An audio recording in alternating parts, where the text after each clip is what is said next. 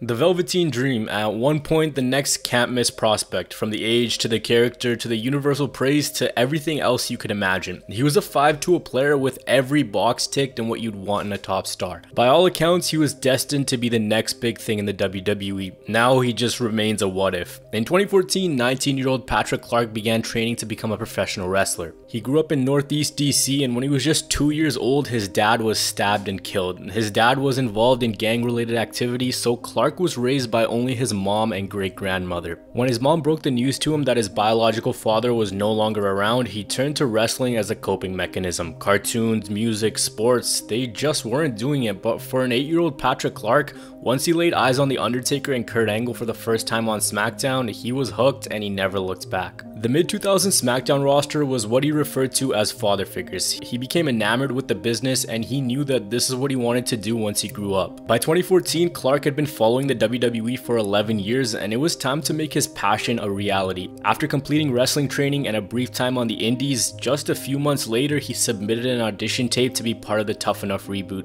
My name is Patrick Clark. I'm 19 years old, and I was raised in the nation's capital, Washington, D.C. When I was just two years old, my father was killed.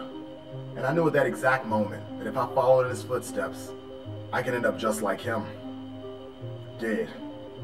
The WWE saved my life by giving me the outlet that I needed to see that there's more to life than just a 9 to 5, and that I could become bigger than my situation. For what time I have left, I want to live in my own house, sleep in my own bed. I don't want to deal in drugs, lose my ambition, and wind up dead. And that's how you remember me. That's the sad part. This ring, this is my realm. I dictate my future. I set the example, and I change the mold. I get to live. Live without the fear of death. And it starts here. 11,000 audition tapes were sent in, but only 14 made it to the show, and one of those 14 was Clark. For those unfamiliar, Tough Enough was a reality series produced by WWE in which wrestlers compete in various challenges, undergo wrestling training, and the winner would get a WWE contract. During Tough Enough, Patrick became a fan favorite. He let it be known that since a very young age he had a passion for this. He studied the history, he knew his stuff, and that a lot of the other competitors were only there for fame and fortune, but for him, it was a genuine love for this business, telling them that he was superior because the others were masquerading as wrestling fans, when in reality they were only there for the $250,000 contract at the end. He displayed a very obvious it factor and confidence. For Patrick, he had some moments on Tough Enough which may have rubbed people the wrong way. His charisma was something you just couldn't manufacture. Patrick would nail promo challenges. In ring, he impressed judges with his bumping. Challenges related to character work he killed, and he had a great physique to boot as well. But unfortunately, it was him who got the boot come week 5. Paige placed him in the bottom 3 and he was voted out due to a perceived attitude problem and cockiness. Some would say he came across too self-confident of himself. Fan perception on him was rather divided. Many WWE stars were also voicing their displeasure on the controversial elimination. Coaches loved him because of a passion and understanding of the business. Mick Foley took to social media to say that they were fools to let Clark slip away. Jericho said that he wouldn't have done what Paige did, but WWE knew the talent that they had on their hands. They knew that this teenager with time and training could become something special, so they signed the 19 year old to a developmental deal where he'd now train at the Performance Center, he'd get promo lessons from the best coaches, he'd be guided into becoming the best superstar he could possibly be. Keep in mind, he'd only been wrestling for less than a year and he took to the business like no other. Prodigy might be far-fetched, but he wasn't far from one. The tiny intricacies of wrestling he already had nailed down. At this time, the NXT brand was taking off and gaining a cult following among some lapsed WWE fans and fans of professional wrestling in general. For Clark, his first character was originally a Donald Trump supporter. He'd come out sporting t-shirts which read Make America Great Again and then talk about how women should stay in the kitchen rather than enter wrestling rings. He continued to promote this character on social media and on different live events, but it wasn't exactly a gimmick that stuck. It never made it to TV, and he ended up scrapping things and he went back to the drawing board. It was in March of 2017 where the foundations of his new character, the Velveteen Dream were laid out. The character was a nod to legendary pop artist Prince who had passed away a year previous. When the death happened, Clark said he didn't know much about him, but he was enamored with the love for him, his character, the way he performed, and his lifestyle, so a lot of Prince's tendencies carried over into this new creation, complete with purple aesthetic, velvet ring gear, a pompous character, and a finisher called the Purple Rainmaker, again a nod to one of Prince's most famous songs called Purple Rain, the character was described as a sexually ambiguous, gender fluid, self-absorbed diva. At first the character seemed pretty passe and not something that would stick, but through time he was able to make everyone a believer. Clark used this character and he slowly fleshed everything out, from his catchy theme song to the hypnotic aesthetics and way of speaking. The character's mystique started to gain a lot of traction and he became a top star on NXT. Wrestling fans started to buzz at Clark seemingly making something out of nothing. His promo style, unique. His ability to live the gimmick, no one else was doing this in the WWE. His flamboyance, very few could pull off. And this really reached a high point in a rivalry with Aleister Black. By the end of 2017, he found himself basically stalking Black in a feud where Dream asked Black to say his name, continuing the provocative nature of the character, a very simple premise which he was able to make work, showing that he had a very good grasp on the art of storytelling in the WWE. This was the rivalry that put him on the map. What set him apart wasn't one thing, but it was how he did multiple things well. He ticked boxes in character, mic, in-ring, and psychological work. And in many matches, Dream would put his body on the line to leave fans with memorable spots, whether it was jumping off a ladder, wearing a memorable costume, making a larger-than-life entrance fit for a stage like WrestleMania, or something bigger like putting Call Me Up Vince on his tights to set social media ablaze. We all believe this was in reference to Vince McMahon, but apparently it was for one of his friends. Point is, by late 2018, he had made waves on the brand as one of the most distinguishable characters and fans started to get behind the now only 22 year old. He became something truly special. Fans were looking at the prospect of future world titles, character-driven rivalries, how he'd adapt his character in the future. Being so young, the investment and excitement on him was through the roof. Add to that that he was personally being trained by one of the greatest of all time in Shawn Michaels, he was the passion project for NXT, the label of the next one was on him and the lights were shining bright. From his extraordinary gift of gab, endlessly athletic moveset, great physique and undeniable aura, to his ability to tell stories and his charisma, oozing from basically everywhere. The flamboyant character made waves which were being heard outside of NXT, so much so that it caught the attention of stars such as Edge, Kevin Owens, of course Triple H who was behind the NXT operation, and most notably John Cena. In 2018, John Cena simply labeled the Velveteen Dream as the one, saying that he just knew that he was destined for something special because of a gut instinct. I would rather face Velveteen Dream. You know how, like, in the Star Wars movies, like, the old Jedis can look at, like, the rookie Jedis and be like, I think that's the one.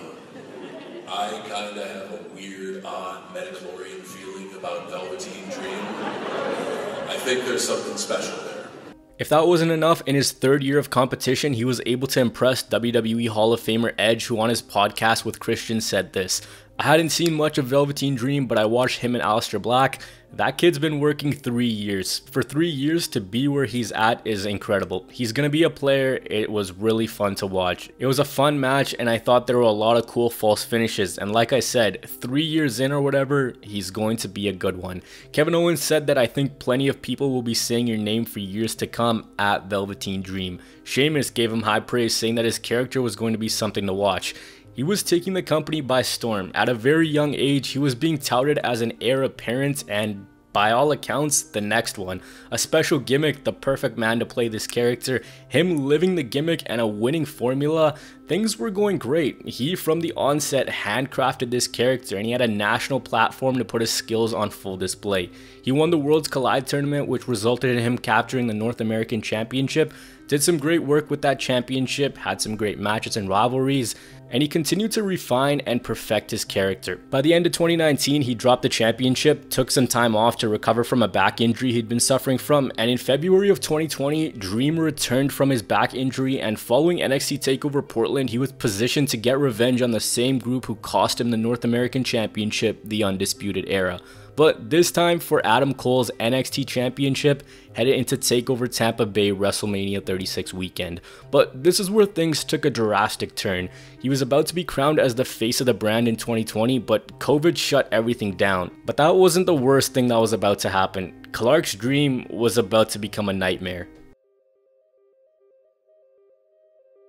On April 20th, 2020, a Reddit user on the Squared Circle forum posted accusations that Patrick Clark had sent explicit content to a minor. There were screenshots as well as voice recordings sent from Clark's verified Instagram account. The person on the other end was apparently 17 years old, and the user sought advice on what to do from the online community. The person said these messages were coming from Clark's personal account, which were of a sexual nature and also going to their friends who were 15 and 16 years old. The person alleged that Clark blocked them once they refused to send a nude photo back in response to the one he sent. Proof was attached to the Reddit thread and this blew up on social media and in the wrestling community. Clark took to social media to address these allegations by saying, Be assured I did not communicate inappropriately with anyone. A private photo of mine was shared without my consent or knowledge. I am working with a third party to look into this matter. Basically, he said he was hacked.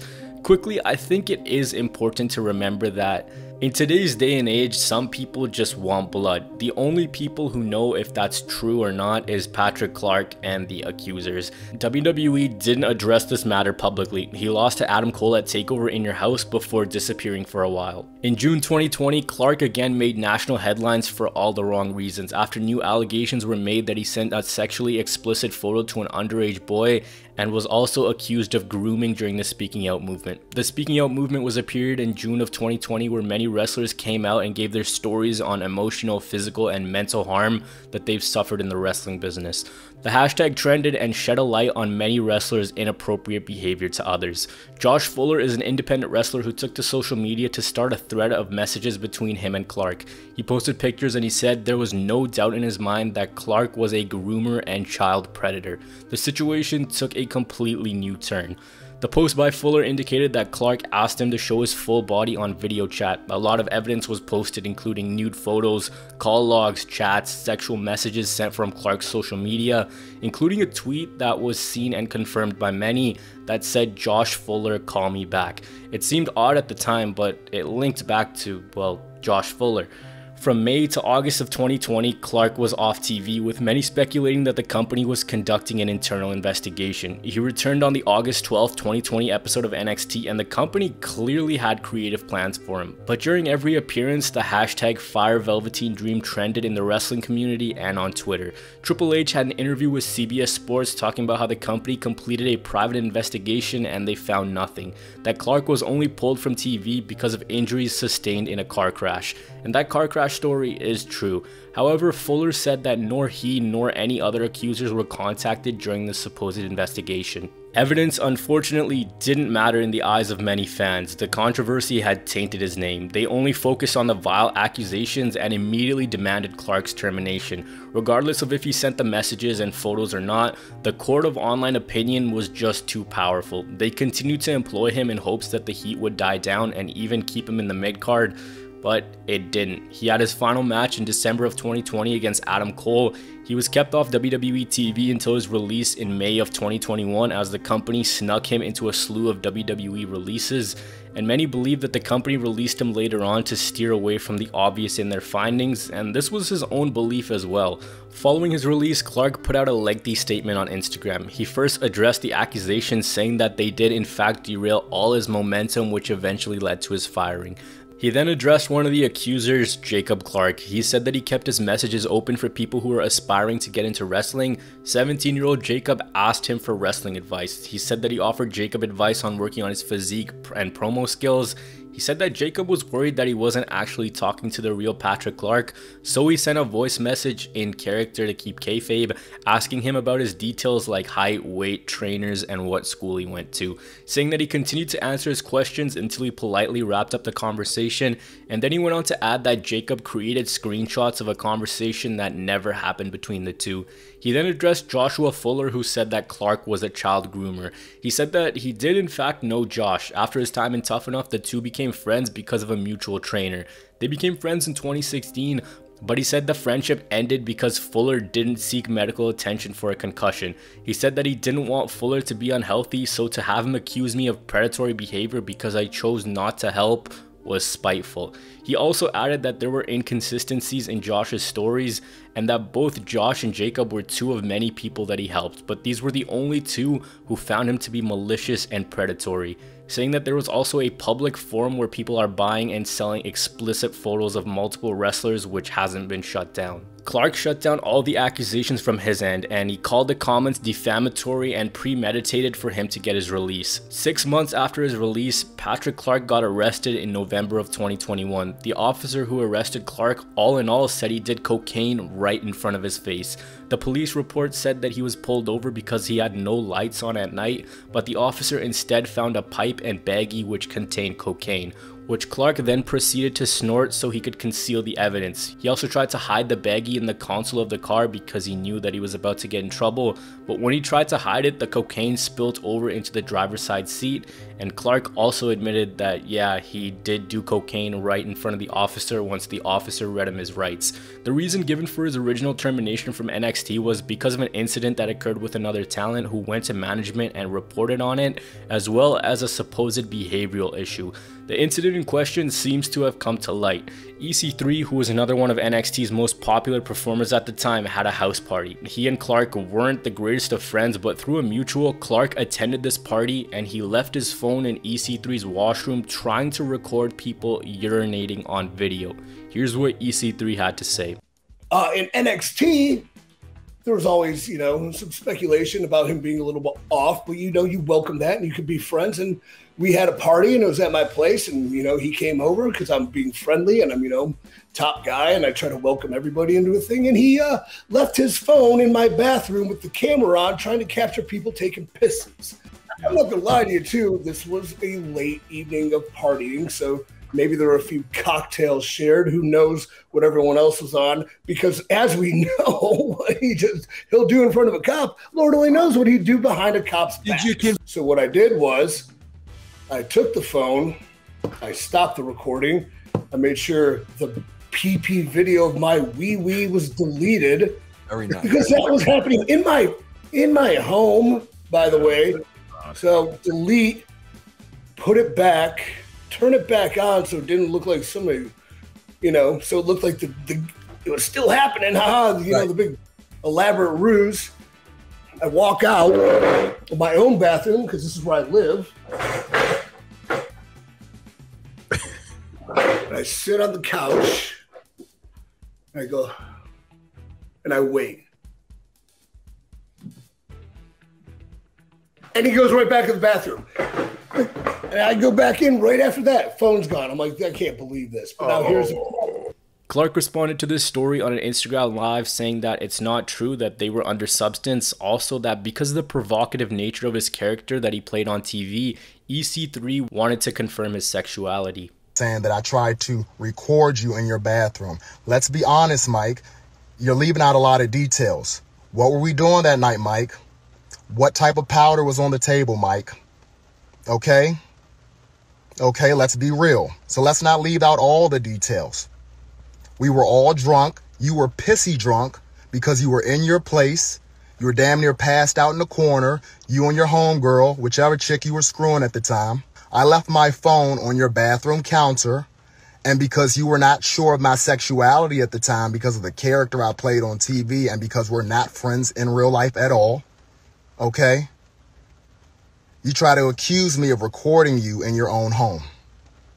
So what did I do? I went to our mutual friend who no longer works for the WWA, former NXT talent, and I showed him my phone and had him go through my photos and videos and my recently deleted just to prove to you and the other person that was there, who, because I respect him and he has a job, okay, I'm not going to put him out there, okay, I had him prove to you that I was not recording you. Cocaine is a hell of a drug, EC3. To which EC3 again retorted, In life, I forgive everyone for everything that's been done to me. I personally have never failed a drug test from any employer, nor been arrested for drug usage, paraphernalia, assault, battery, or any other inappropriate behavior. My forgiveness includes Patrick Clark for setting up a video recording device in the bathroom of my home. As far as any other accusations and allegations against him, I hope he finds the help he needs. And again, he said that WWE employees basically came up to him and thanked him for revealing the bathroom story because it basically assured that Dream would never return to the company. Since his release, his personal demons have become a concern and he's landed himself into more trouble. First, the cocaine incident as mentioned, Clark was again arrested on August 20th, 2022 for biting a gym employee. According to a police report, the gym was closed for cleaning and Clark was asked to leave the facility. He refused to do so and got into a fight with the employee, also giving him death threats. When a fight broke out, he bit the employee under the armpit close to the chest area. Police observed teeth marks on the gym employee and arrested Clark for battery and trespassing. Less than a week later, on August 26th, he was arrested for violating probation. That's three arrests in less than a year. The week before, he was pushing for a WWE comeback, posting photos of himself and writing Don't Dream It, Be It with the hashtag Bring Back Velveteen Dream. As Triple H was now in charge of WWE Creative and bringing back many of his favorites, maybe he thought this was a shot to return. Behavioral issues have been talked about a lot from various news sources and online publications. They've made it clear that during his entire WWE tenure, this was almost always an issue. His many altercations haven't helped his cause. In the lead up to the original firing in 2021, there were many instances involving WWE superstars which seemed to throw shade Clark's way. Before NXT TakeOver 30, Triple H had a conference call and he talked about his immaturity and how it bleeds into his personal life. Triple H himself knew that Dream was the one standing in his own way. At one point, Finn Balor posted a photo with a trash bag over Dream's head. It was retweeted by Dakota Kai.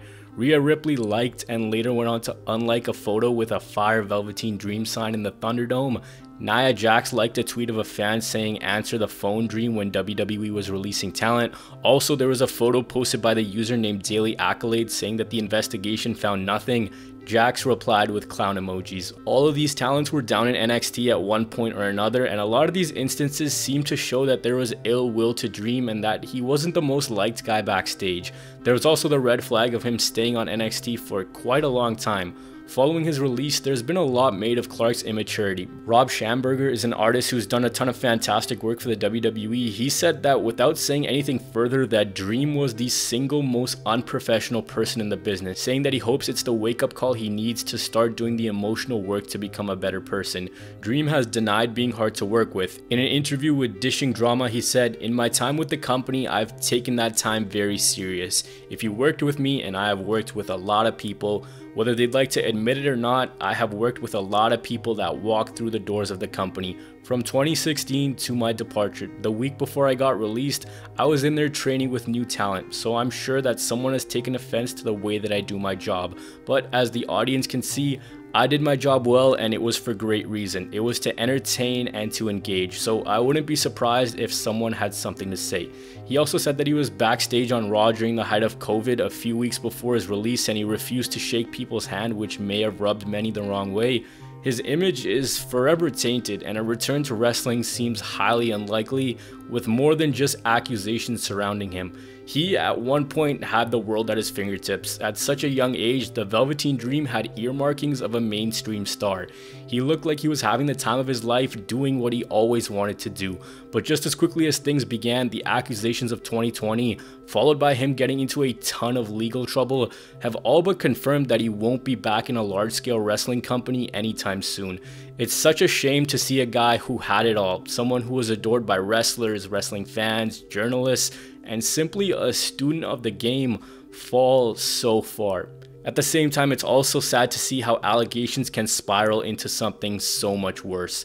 For Patrick Clark, this is an unprecedented fall from grace. This man, by many accounts, was simply supposed to be the one, the guy, the next top star, or at worst, one of the next top stars in the WWE. A ceiling which was so high, legends were almost guaranteeing success. Wrestling fans were buzzing, everyone was excited. All gone in the snap of a finger, just like that.